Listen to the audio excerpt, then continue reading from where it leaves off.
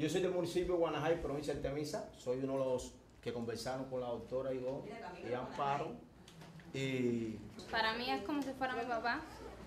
Yo fui la que vine con él para el hospital, para la Covadonga. llevo dos años con la enfermedad.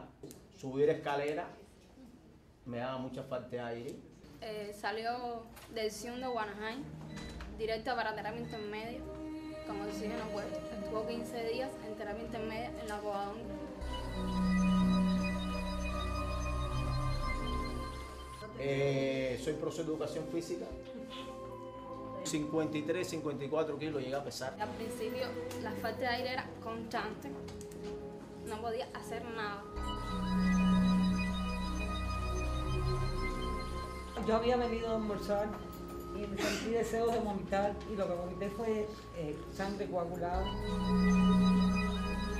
Me tuvieron que radiar dos veces, uno en el pulmón, otro en la cabeza. Yo llegué al oncológico medio muerto, más muerto que vivo. Yo llegué en, en silla de ruedas y con oxígeno.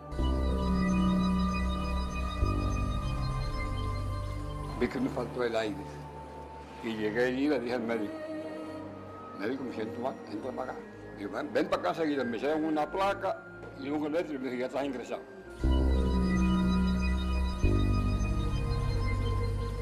Impactante cuando un enfermo le dicen lo que tiene.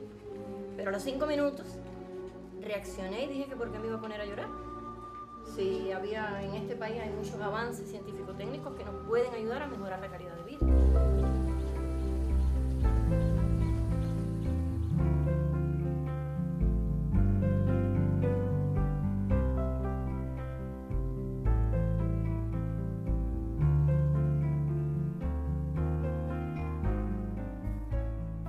Hemos pasado por momentos buenos, por momentos agradables y por momentos muy desagradables producto de la enfermedad.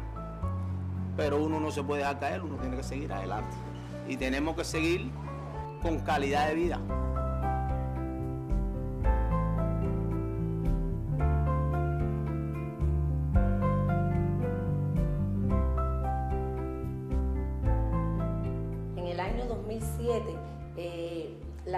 Provincial de Salud nos da la responsabilidad de dirigir el Observatorio Provincial para el Control del Cáncer. Y por primera vez se llevaron los ensayos clínicos a la atención primaria de salud.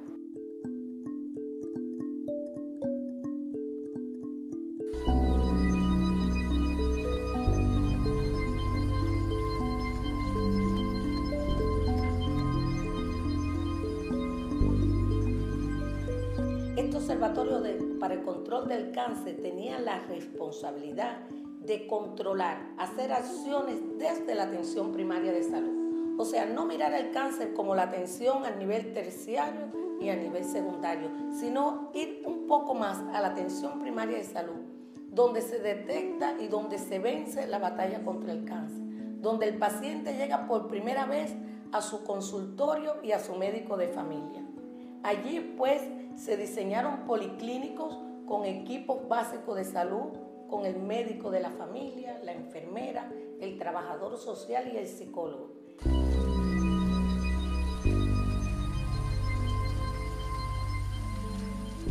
Nos reunimos y creamos lo que se llamaba el Diplomado de Oncología en la Comunidad. Este diplomado tenía varias fases. Primera fase era conocer cuáles eran las acciones que los médicos tenían que conocer en sí, no solo en una localización, sino las cinco localizaciones de mayor incidencia y mortalidad, cáncer de mama, pulmón, colon recto, próstata y cervicuterino, y darle una atención especial a la oncopediatría, a los niños con cáncer en la atención primaria.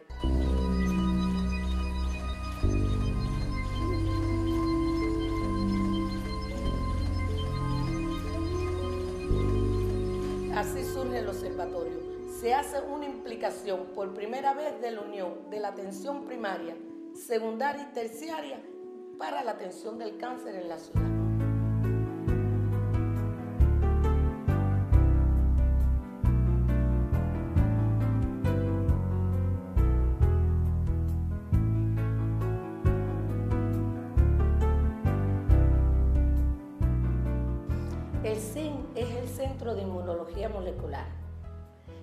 Por nuestro comandante jefe 5 de diciembre de 1994 con el objetivo de producir y obtener productos dedicados a enfermedades malignas, a enfermedades crónicas no transmisibles.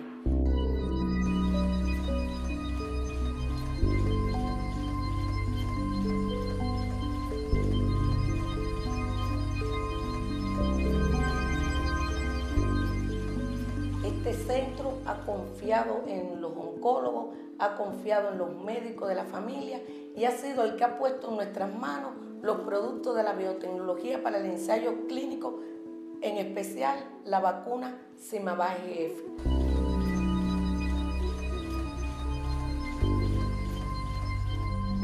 Como mismo nosotros unos tenemos los ojos achinados, otros tenemos redondos, otros los tenemos azules, otros claros, y todo eso combinado da una persona única.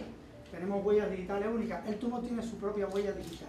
Entonces, en esa huella digital del tumor nosotros estamos encontrando aquellos segmentos de la huella que pueden ser útiles para atacarlas o decirle al organismo, atácalas. Atacarlas directamente sería la inmunoterapia pasiva que yo le llamo. Decirle al organismo, atácalas, significa la inmunización activa de que le hablaba con una vacuna. Ahora, en esa huella de los tumores nosotros trabajamos dos cositas. Aquellas cosas que se llaman sistema de EGF, que el EGF es un factor de crecimiento de las células de la piel, que muchos tumores se han hecho adictos a usar ese mismo factor de crecimiento normal como factor de crecimiento del tumor y al hacerse adicto a ese factor dependen de él para crecer. Y nosotros lo que tratamos es de decirle al tumor, al cuerpo, a la defensa del organismo, ataca ese factor de crecimiento y quítaselo al tumor. Se trabaja con anticuerpos monoclonales, inmunoterapia pasiva y vacunas, inmunoterapia activa. Y como pueden ver, la vacuna Simavac EGF está en el contexto del sistema de EGF y en el contexto de las vacunas. Esas serían las coordenadas de, nuestro, de nuestra reunión aquí hoy. Nos parece que lo más importante con este tratamiento es que el tumor no reciba su factor de crecimiento. Y al no recibirlo, él se limita en crecer, él se limita en progresar y que a la larga la persona pueda convivir con esa enfermedad como convive con una hipertensión, con una diabetes, con muchas otras enfermedades y tenga un impacto en la supervivencia, que es como quiere decir la UCE, la SVS que hay ahí. O sea, ese sería al final el objetivo de esta modalidad terapéutica. También nos entendemos aquí. Sí. Esto un poco es el resumen de lo que yo les estaba diciendo. El EGF, que es ese factor del crecimiento epidémico, toca determinadas señales que tiene el tumor por fuera y aumenta su eh, progresión. Hace el tumor más agresivo, hace el tumor capaz de ir a otros lugares que no son el lugar que le dio de origen. ¿Ok? Ahora, nosotros lo que hacemos es que tratamos de quitar ese factor de crecimiento e impedir que el tumor lo pueda usar y desencadenar esa vitalidad que él tiene que hace que juegue con nuestra propia vitalidad. Esta vacuna que se aplicó en la atención primaria de salud, eh, eh, se aplicaron cuatro dosis inicialmente cada 14 días. Después eh, vinieron las dosis de mantenimiento, que la misma se realizaban de manera mensual. Nunca se orientó que el paciente saliera del ensayo clínico, siempre se extendió, siempre fue garantizado el producto. Hasta este momento, la vacuna GF está aprobada por nuestra entidad reguladora, el Centro Estatal para el Control de la Calidad de los Medicamentos, para uso en pulmón, en tumores de pulmón de células no pequeñas y en estadios avanzados. Muchas veces el médico de la familia detectó a este paciente en su dispensarización y rápidamente ¿qué hizo? tomó al paciente su resumen de historia clínica, se puso en concordancia con su oncólogo del hospital de base y dijo, bueno, este paciente es elegible para entrar a un ensayo clínico. Okay. Y en ese escenario, lo que ha llegado hasta ahí significa que hemos tenido resultados que avalan científicamente, tanto como para publicar fuera de Cuba, como para tener patente, como para comercializar los resultados que se han obtenido. Y ese es un punto ah, hasta donde nosotros estamos en el plano científico. O sea, que nosotros mismos no podemos decir si somos buenos o malos. Lo tiene que decir un tercero. Y eso es para garantizar la salud de ustedes, la calidad de vida de ustedes y la seguridad sobre todo de ustedes. ¿Ok? Yo les quiero mostrar un antes y un después del tratamiento con la vacuna y cómo duplicó la sobrevida en nuestro estudio realizado en La Habana. De 6,7 como anteriormente le había señalado a 13,6 cómo mejoró la supervivencia del paciente atendido con la vacuna.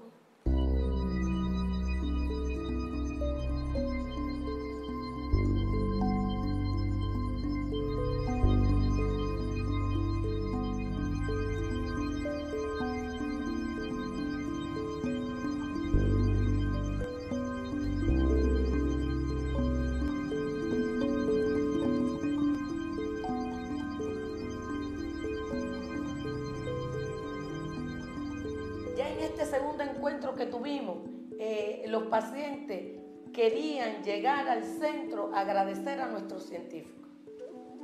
Ya los pacientes querían decir cómo se sentían al recibir las vacunas, cómo se sentían con el tratamiento. Me puse el primer suero, bien, al segundo suero, a los siete días yo estaba en cinco de hemoglobina ya. Pues no me muero. Ah, a correr contra funciones. Entonces vino la vacuna, la, la- la gran vacuna esta, la salvadora, porque es una salvadora. Yo me siento perfectamente bien, perfectamente. Yo trabajo, yo camino, yo hago de todo lo que hace, lo que hacía antes de enfermarme. Perfectamente. Ojalá todo lo que se, se tenemos de enfermedad, la vacuna le asentara como me sientan a mí. Yo algunas veces, en forma jocosa, digo, me hace falta que me pongan el veneno.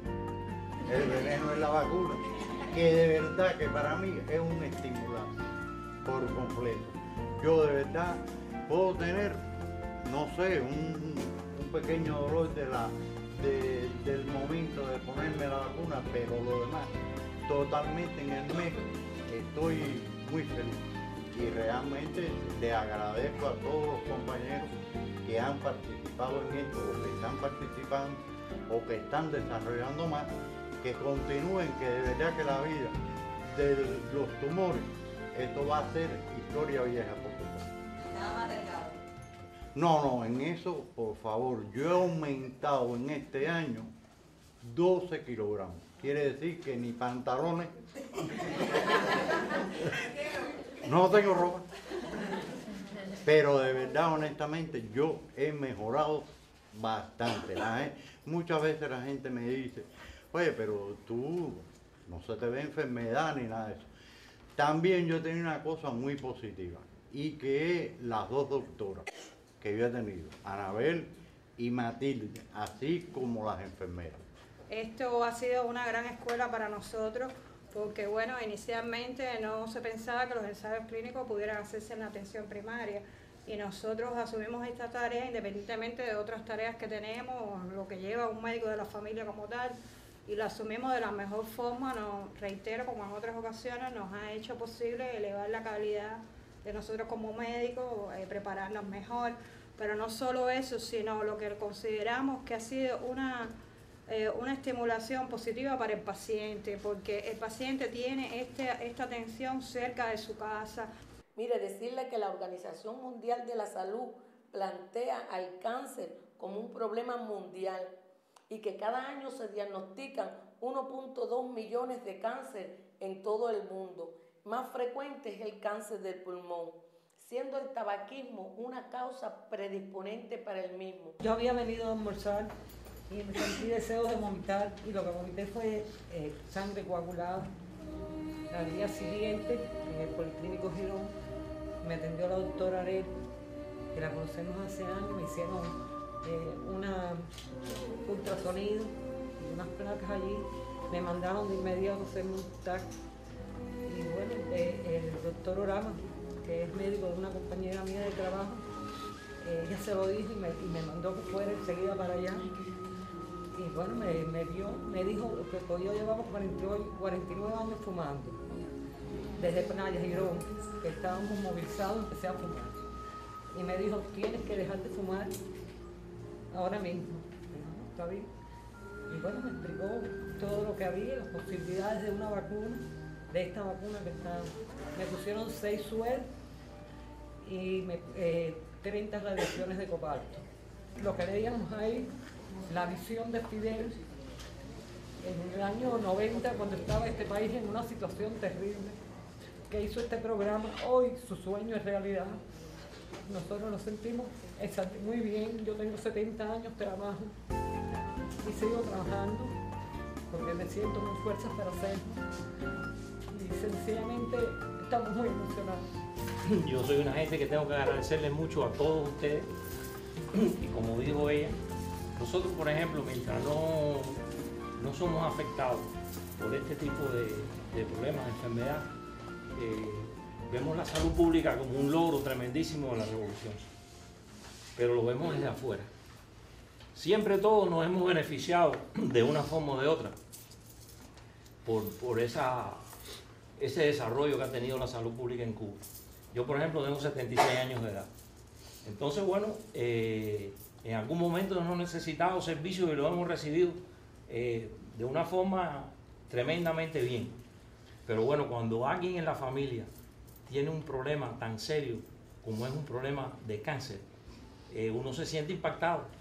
Entonces en ese momento trata de ver qué es lo que hay y bueno, vivir en Cuba en este momento con el desarrollo que tiene la salud pública es una garantía. En mi vida profesional eh, he crecido muchísimo desde que estoy con el programa de oncología. Eh, con mis pacientes, las mejores relaciones desde que comenzaron hasta ahora.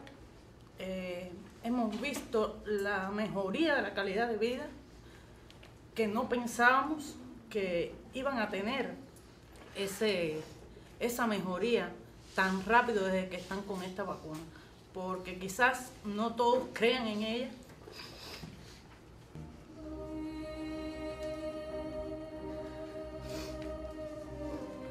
Pero mi abuelita murió de cáncer de pulmón y si hubiese podido tener esa vacuna, a lo mejor hubiera durado mucho más. Muchas gracias.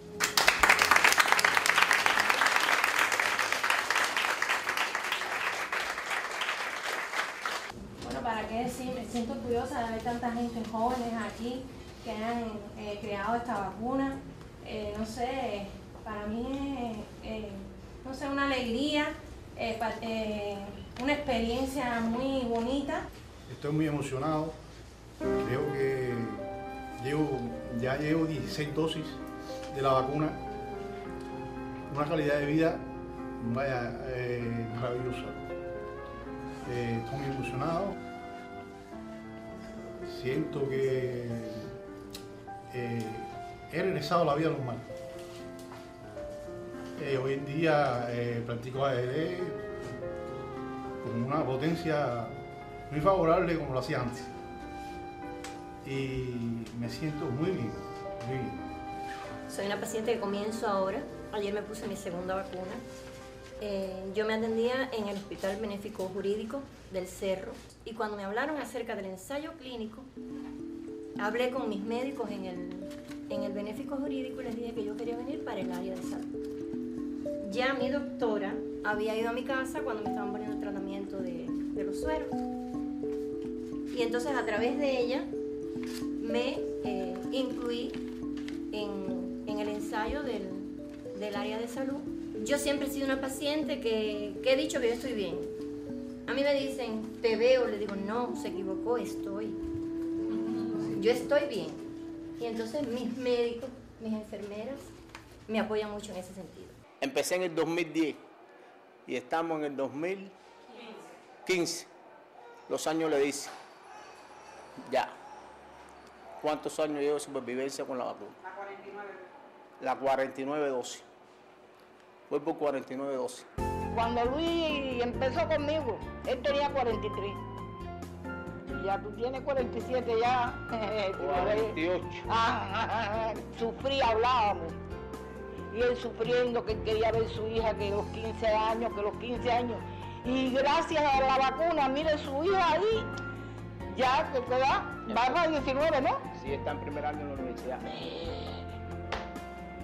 La vacuna le permitió ver su hija cumplir los 15 y, y mírelo ahí todavía luchando. Mi hija tiene 18 y está en la universidad en primer año. Ya eso lo vivimos. Y vamos a seguir viviendo hasta que se gradúe. No, yo quisiera agradecerle la atención de los médicos, tanto a los creadores de la vacuna, como a los médicos aquí de atención primaria, a la doctora Ivonne, la enfermera y todos los demás compañeros que me han atendido durante este largo proceso de enfermedad. Yo llegué al oncológico medio muerto, más muerto que vivo. Yo llegué en, silla de ruedas y con oxígeno. A los siete días exactos yo fui para casa de caminando, sin problema. Con un poco falta de aire que fue con oxígeno para casa. La vacuna cada día me he ido sintiendo mejor, me he ido curando, porque me he ido curando. vamos a, decir, vamos a ir por etapas. En primer lugar, la calidad de la medicina cubana. Después, la calidad del personal. Esto es, eh, aquí son médicos enfermeras estilo, estilo novela, estilo película. Que no, no- lo encontramos. Personas con sensibilidad humana. Que es lo primero que tiene que tener un médico. Saber lo que está tratando, a quién está tratando y por qué lo está tratando. Y eso que hay aquí, hay primero que todo. El mayor interés que hubo en todo esto aquí, y no es quitándole mérito a la vacuna ni a lo que inventaron, es la calidad humana del personal que atiende a nosotros. Estamos muy, muy, muy agradecidos por, por ver que lo que hacemos todos los días y que a veces nos da tanto, tragamos tan duro, porque no se crean que es sencillo en este país y lograr eh, que ustedes tengan lo que tienen en las manos, que, que a nosotros a veces no nos parece nada, es decir, uno lucha porque el pomito se llene, uno lucha porque con lo que tiene que hacer, lo que va dentro del pomito llegue. eh, para que ustedes lo tengan, pero uno no sabe lo que significa porque no está en el lado de ustedes. Es decir, uno se angustia por lo, y traga muy duro para que ustedes lo tengan, pero no valoran. Es decir, no se valora igual lo que uno hace cuando uno ve, eh, lo ve que ustedes se sienten bien, y eso es lo más importante, ¿no? Y que, y que entonces vale la pena todas las angustias y vale la pena luchar por esto y vale la pena por preservar lo que tenemos. Porque si lo perdemos, lo vamos a perder todo. Es la- una sati- satisfacción para la vida haber podido hacer algo, por supuesto con muchos compañeros que han tenido que ver en esto, en esto y que han trabajado muy fuerte y lograr ver en los pacientes esa mejoría y, esa y esos y esa calidad de vida, bueno, es algo que nos emociona mucho y poco podemos decir. Yo creo que Esta reunión, además de ser, por supuesto, es un gran estímulo, es un gran compromiso para nosotros. Además, Luis Enrique nos ha dicho que la meta no es controlar, sino que es curar, por tanto tenemos la varilla más arriba que Javier Sotomayor trataremos de cumplir. Y a nuestros médicos de familia que esperen una avalancha de vacunas en atención primaria de salud.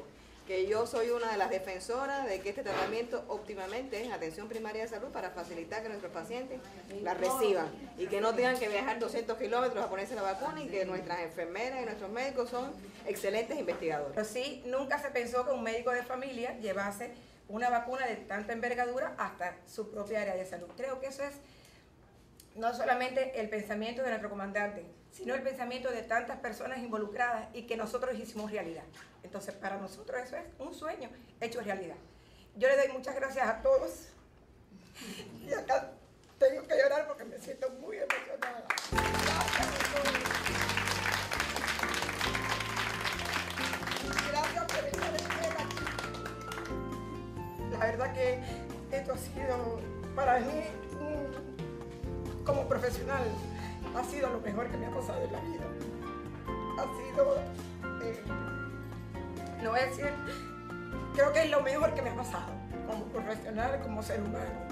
Tenerlos a ellos aquí con nosotros me emociona mucho y, y creo que tengo que también mencionar a Eva, porque esto que estamos haciendo hoy es por Eva, porque ella ha sido la que siempre ha estado pendiente a que todos estos sueños se hicieran realidad. Sin Eva no podíamos haber hecho esto. Sin el cine no podía haber- haberse hecho realidad este sueño de nuestro comandante y creo que llevarlo a cabo y, decirle hoy a él, frente a frente, a lo mejor un día podemos, creo que es lo mejor que le puede eh, pasar a un profesional de salud de un país como este, que todos los días está enfrascado en mejorar la calidad de vida de, de nuestra población, de nuestro pueblo. Y le doy gracias en nombre de todo el colectivo de, de oncología, de todo lo que eh, hemos hecho realidad en el Observatorio del Cáncer Provincial. Hay otras personas que no están aquí, pero que, que sé que se iban a emocionar y que iban a sentir lo mismo y decir lo mismo que estoy diciendo aquí. A la doctora Gisela, gracias por ese cerebro que Dios te dotó, mi amor. Gracias. Porque eso hay que decirlo siempre. Siempre hay un cerebro pensante. Muchas gracias a ti, Tania, por todo, todo lo que nos has enseñado, por toda tu dedicación, por todo el amor que nos brindas todos los días. Te tenemos todos los días en nuestros corazones. A ti, Eva, gracias. Eres nuestro motorcito, eres nuestro corazón. Gracias.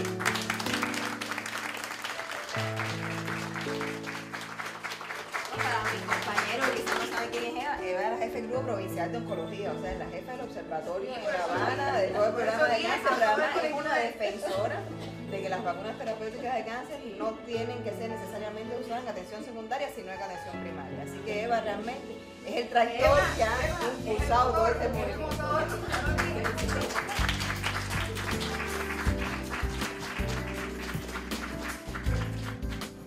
Bueno, que muchas gracias a ustedes por darme esta oportunidad de agradecerle a la salud cubana y que nos vemos aquí de nuevo en el 2050 en la próxima entrevista.